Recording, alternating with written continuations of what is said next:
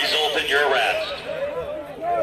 If you remain near the Justice Center, on area roadways, or in enclosed parks, and show the intent to engage in physical resistance to removal, or if emergency circumstances require, you'll be subject to the use of force, including riot control agents and impact weapons.